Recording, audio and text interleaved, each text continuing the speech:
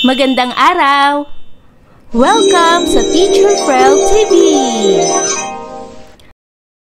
Tayo ngayon ay mag-aaral sa asignaturang Filipino 4, Quarter 4, Week 4, Milk Base. Ang paksa ng ating aralin sa araw na ito ay Paggamit ng magagalang na pananalita sa iba't ibang sitwasyon, pagguhit at pagbibigay puna sa editorial cartoon, paggamit ng iba't ibang uri ng pangungusap sa pakikipagtalastasan, at pagbibigay ng bagong kaalaman mula sa binasang teksto.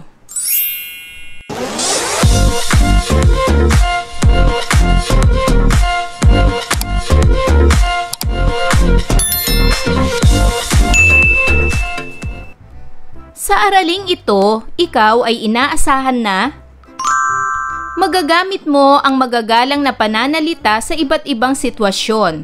Pagbibigay po na sa editorial cartoon.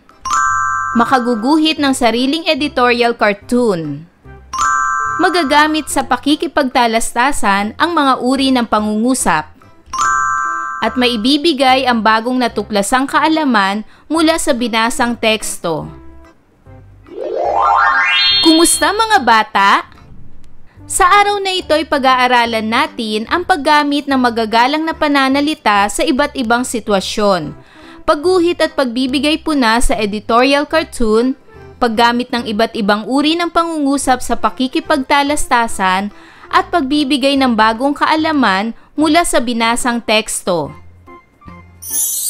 Ang araling ito ay tiyak na makatutulong upang mapalawak ang iyong kaisipan sa wastong paggamit ng magagalang na pananalita, pagguhit at pagbibigay puna sa editorial cartoon, paggamit ng iba't ibang uri ng pangungusap at pagbibigay ng bagong kaalaman mula sa binasang teksto na maaari mong maiugnay sa iyong pang-araw-araw na buhay. Pag-aralan natin ang magagalang na pananalita sa iba't ibang sitwasyon gaya ng pagbati. Halimbawa, magandang umaga po, magandang tanghali po, magandang gabi po. Sumunod ay ang paghingi ng paumanhin. Halimbawa, pasensya na po kayo sa nangyari. Humihingi po ako ng tawad sa lahat ng kasalanan ko. Paumanhin po sa nagawa kong gulo.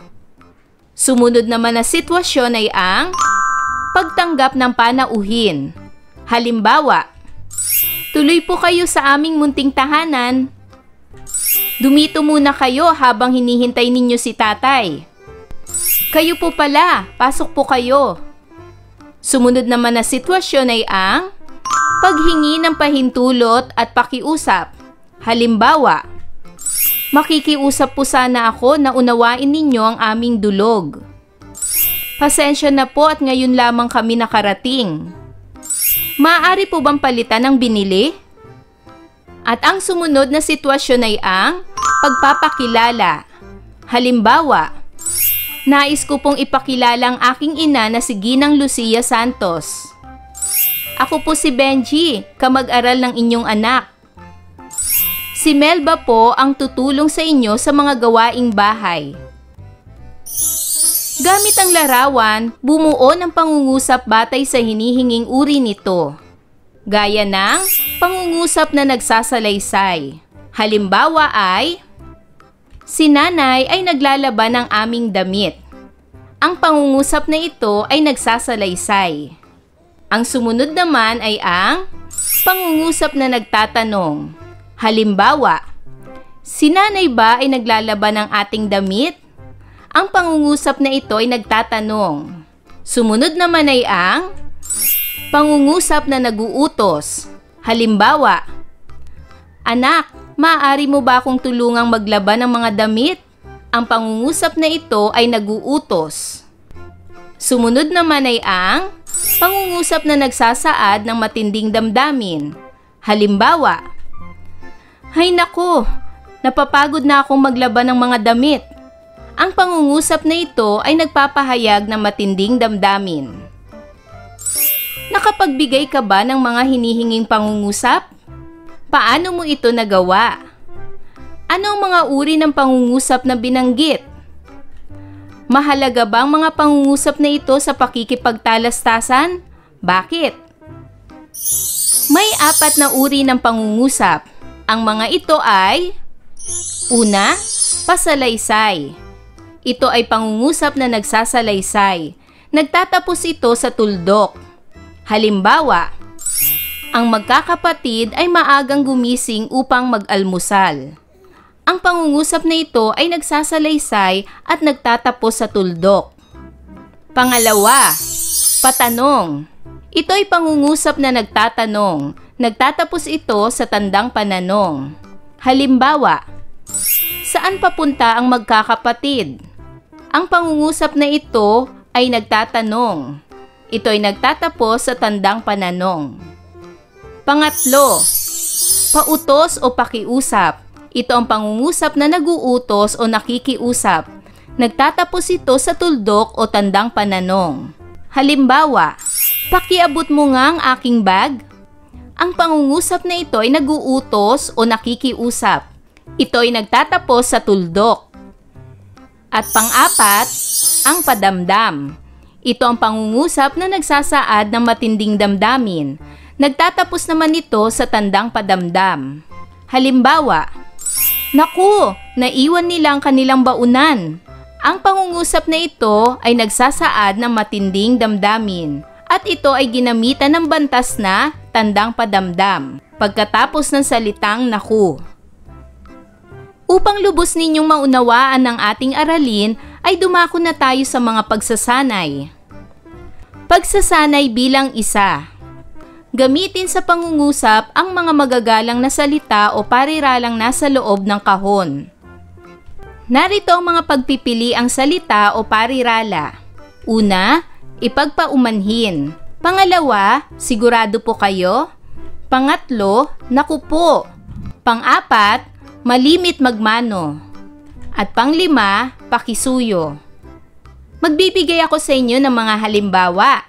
Gamitin natin sa pangungusap ang ipagpaumanhin.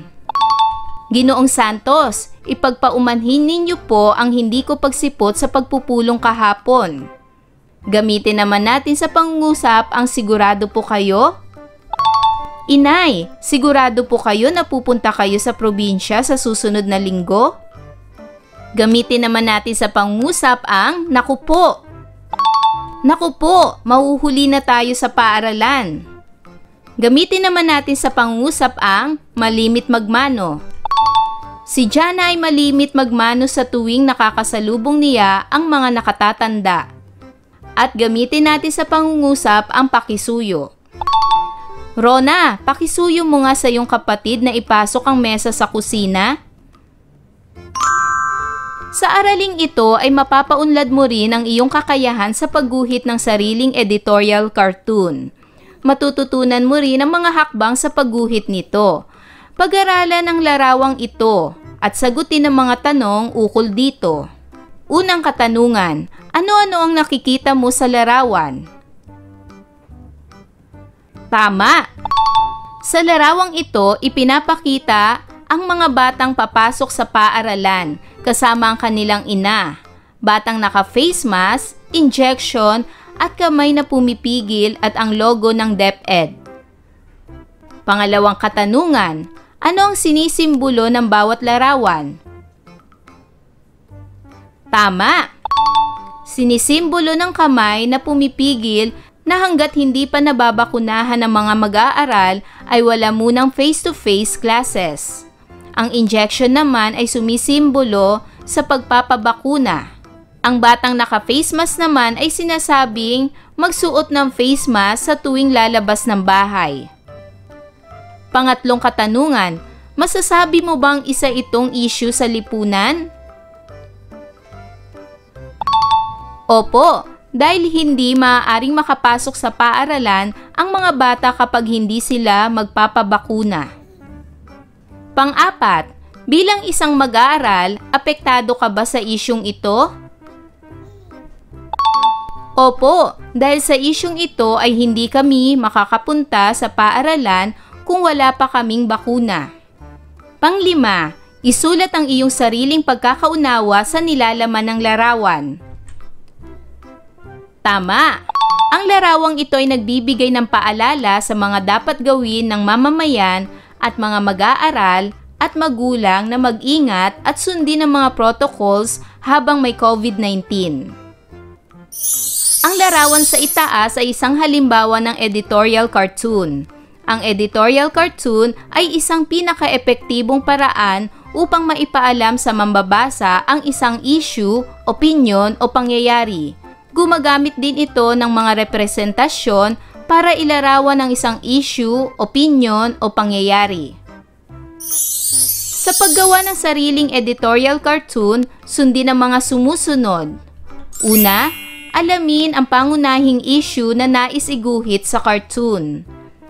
Pangalawa, gumuhit sa tulong ng pinakamabisang simbolo na aakma sa opinion mo sa issue. Pangatlo, limitahan sa tatlo hanggang limang bagay ang iguguhit. Gumamit ng pangkalahatang simbolo. At panglima, ituon ang pagguhit sa iisang paksa lamang. Dumako naman tayo sa pagsasanay bilang dalawa. Mag-isip ng isang issue na may kinalaman sa edukasyon o pandemyang kinaharap ng mundo sa kasalukuyan. Gumawa ng sariling editorial cartoon batay sa isyung iyong napili. Narito ang pamantayan sa pagguhit ng editorial cartoon. Para sa unang description, nakaguguhit ng sariling editorial cartoon na may kaugnayan sa isyung napili malinis ang pagkakagawa at naipasa sa itinakdang oras. Ito ay 15 puntos. Sumunod na description, nakaguguhit ng sariling editorial cartoon ngunit hindi gaanong malinaw ang kaugnayan sa isyong napili.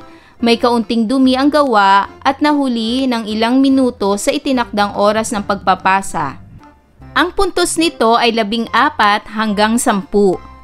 Ang pangatlong description ay nakaguhit ng sariling editorial ngunit malayo ang kaugnayan sa isyong napili. May kaunting dumi ang gawa at nahuli ng isang oras o higit pa sa itinakdang oras. Ang puntos nito ay siyam hanggang isa.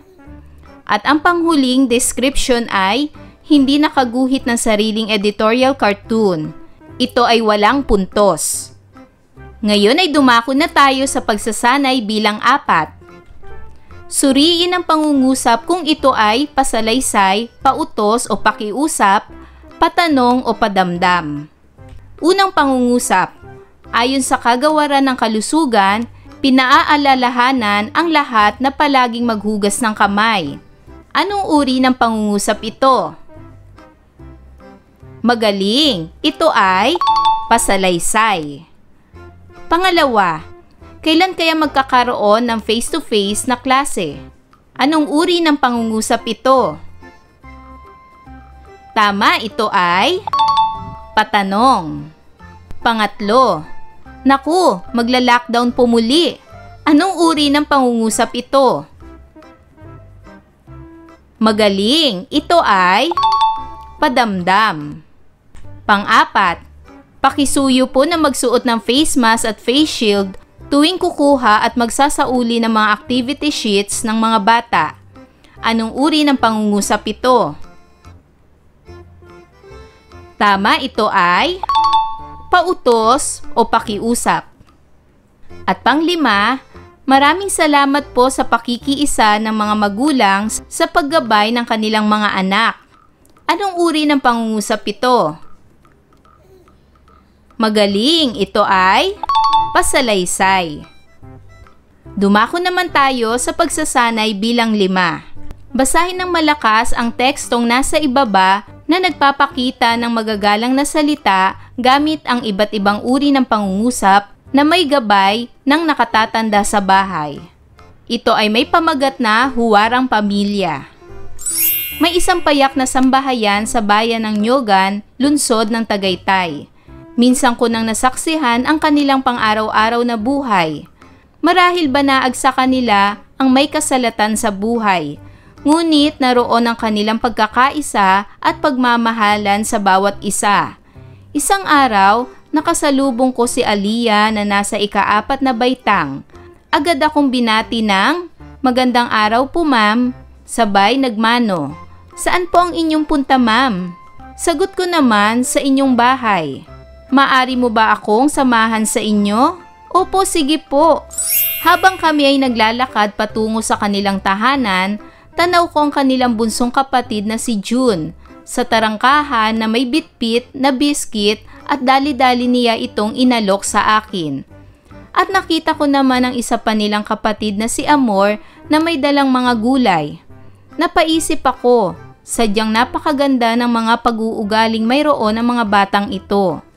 Maya-maya pa'y dumating ang kanilang ama't ina, na pawis na pawis na may dalang sako na ang laman ay abokado. Sila pala ay galing sa paggagaot. Ito kasi ang kanilang pangunahing ikinabubuhay sa ngayong may pandemya. Sabay bungad sa akin, pasensya na po kayo ma'am at ngayon lamang kami dumating. Walang anuman po, nais ko lamang kumustahin si Aliyah tungkol sa kanyang pag-aaral. Mabuti naman po sa awa ng Diyos. Maraming salamat po sa inyong paggabay kay Aliyah. Sagutin ang sumusunod na mga katanungan mula sa iyong binasang teksto. Maghanap ng limang pangungusap na ginamitan ng magagalang na salita gamit ang iba't ibang uri ng pangungusap. Narito ang limang pangungusap na ginamitan ng magagalang na salita gamit ang iba't ibang uri ng pangungusap. Una ay ang Magandang araw po ma'am. Ito ay padamdam. Pangalawa, Saan po ang inyong punta ma'am? Ito ay patanong. Pangatlo, maaari mo ba akong samahan sa inyo? Ito ay pautos o pakiusap. Pang-apat, pasensya na po kayo ma'am at ngayon lamang kami dumating. Ito ay pasalaysay. At panglima, maraming salamat po sa inyong paggabay kay Aliyah. Ito ay pasalaysay. Tandaan, mayroong magagalang na pananalita sa iba't ibang sitwasyon. Ang mga ito ay pagbati, paghingi ng paumanhin, pagtanggap ng panauhin, paghingi ng pahintulot o pakiusap, at pagpapakilala. May apat na uri ng pangungusap. Ang mga ito ay Una, pasalaysay.